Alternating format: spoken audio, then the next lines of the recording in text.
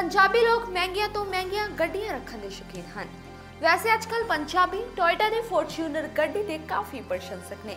ਪੰਜਾਬ ਦੀਆਂ ਸੜਕਾਂ ਤੇ ਵੀ ਮਹਿੰਗੇ ਭਾਅ ਦੀ ਇਹ ਲਗਜ਼ਰੀ ਗੱਡੀ ਆਮ ਹੀ ਦੇਖਣ ਨੂੰ ਮਿਲ ਜਾਂਦੀ ਹੈ। ਪਰ ਤੁਹਾਨੂੰ ਜਾਣ ਕੇ ਹੈਰਾਨੀ ਹੋਵੇਗੀ ਕਿ 40 ਲੱਖ ਕੀਮਤ ਦੀ ਇਹ ਗੱਡੀ ਪੁਣੇ ਇੱਕ ਨਗਰ ਨਿਗਮ 'ਚ ਕੂੜਾ ਢਾਉਣ ਤੇ ਲੱਗੀ ਹੋਈ ਹੈ। ਹੋ ਗਏ ਨਾ ਹੈਰਾਨ? ਜੀ ਹਾਂ, ਇਹ ਸੱਚ ਹੈ ਕਿ ਪੁਣੇ ਦੇ ਹੇਮਰਾਜ ਚੌਧਰੀ ਨਾਂ ਦੇ ਇੱਕ ਟਰਾਂਸਪੋਰਟਰ ਕਾਰੋਬਾਰੀ ਨੇ ਤਕਰੀਬਨ 39 ਲੱਖ ਰੁਪਏ ਨਵੀਂ ਫੋਰਚੂਨਰ ਗੱਡੀ ਤੇ ਲਗਾਏ। ਸ਼ੌਂਕ ਦਾ ਕੋਈ ਮੁੱਲ ਨਹੀਂ। ਇਸ ਲਈ ਉਹਨਾਂ ਨੇ ਗੱਡੀ ਤੇ ਵੀਆਈਪੀ ਨੰਬਰ ਲੈਣ ਲਈ ਵੀ 2 ਲੱਖ ਹੋਰ ਖਰਚ ਕਰ ਦਿੱਤੇ। ਪਰ ਕੁਝ ਦਿਨਾਂ ਬਾਅਦ ਹੀ ਗੱਡੀ ਵਿੱਚ ਕੁਝ ਅਜਿਹਾ ਨੁਕਸ ਪਿਆ, ਜੋ ਕਈ ਵਾਰ ਸਰਵਿਸ ਸਟੇਸ਼ਨ ਲੈ ਜਾਣ ਬਾਵਜੂਦ ਠੀਕ ਨਾ ਹੋ ਸਕਿਆ। ਏਜੰਸੀ ਦੇ ਇਸ ਰਵੱਈਏ ਤੋਂ ਤੰਗ ਆ ਕੇ ਚੌਧਰੀ ਨੇ ਆਪਣੀ ਲਿਸ਼-ਲਿਸ਼ ਕਰਦੀ ਨਵੀਂ ਫੋਰਚੂਨਰ ਗੱਡੀ ਨੂੰ ਕੂੜੇ ਨਾਲ ਭਰ ਕੇ ਸਰਵਿਸ ਸੈਂਟਰ ਭੇਜ ਦਿੱਤਾ, ਜਿਸ ਨੂੰ ਵੇਖ ਕੇ ਸਰਵਿਸ ਸੈਂਟਰ ਵਾਲਿਆਂ ਨੂੰ ਹੱਥਾਂ ਪੈਰਾਂ ਦੀ ਪੈ ਗਈ। ਉਹਨਾਂ ਨੇ ਪੁਲਿਸ ਨੂੰ ਇਸ ਦੀ ਇਤਲਾਹ ਕੀਤੀ।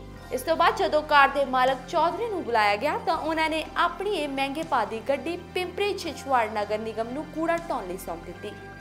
ਭਾਵੇਂ ਕਿ ਚੌਧਰੀ ਹੇਮਰਾਜ ਦੀ ਇਸ ਕਾਰਵਾਈ ਤੋਂ ਬਾਅਦ ਕੰਪਨੀ ਵਾਲਿਆਂ ਨੂੰ ਪਾਛੜਾ ਪੈ ਗਈਆਂ, ਪਰ ਅਜੇ ਤੱਕ ਇਹ ਸਪਸ਼ਟ ਨਹੀਂ ਹੋ ਸਕਿਆ ਕਿ ਕੰਪਨੀ ਨੇ ਆਪਣੀ ਵਕਾਰੀ ਗੱਡੀ ਦੀ ਸ਼ਾਖ ਬਚਾਉਣ ਲਈ ਚੌਧਰੀ ਤੋਂ ਮਾਫੀ ਮੰਗ ਕੇ ਕਾਰ ਠੀਕ ਕਰਕੇ ਦਿੱਤੀ ਹੈ ਜਾਂ ਨਹੀਂ।